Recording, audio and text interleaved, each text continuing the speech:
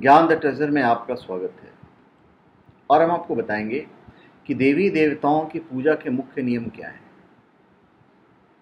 देखिए, पूजा के नियम को ज़रूर ध्यान में रखना चाहिए। भगवान की पूजा आप सब करते हैं। पर कुछ नियम और ध्यान रखें तो ज़्यादा सार्थक और ज़्यादा पॉजिटिव एनर्जी मिलेगा। जैसे भगवान शिव और सूर्य की पूजा कभी भी शंख से नहीं करनी चाहिए। तुलसी को कभी भी अनावश्यक नहीं तोड़ना चाहिए। तुलसी के पत्ते को स्नान के बाद ही क्षमा याचना करके तोड़ना चाहिए। रविवार और शुक्रवार के दिन तुलसी के पत्ते नहीं तोड़ना चाहिए। कभी भी भगवान शिव और गणेश जी की पूजा में तुलसी काम में नहीं लें।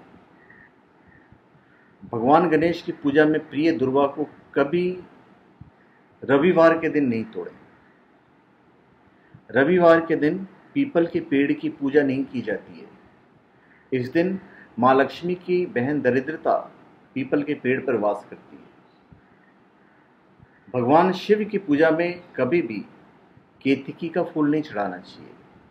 यह केतकी के पुष्प को शिव का श्राप है। हमारे हिंदू धर्म में तैतीस कोटि देवी देवता हैं। इन सब की पूजा संभव ना हो तो पाँच देवता की पूजा ज़रूर करनी चाहिए। मुख्य देवता हैं शिव, गणेश, दुर्गा, विष्णु और सूर्य। घर के मंदिर में हमेशा गंगाजल, गौमूत्र होना चाहिए। यह मंदिर में सकारात्मक ऊर्जा लाता है। आरती करने के समय घर में घंटी ज़रूर बजाएँ।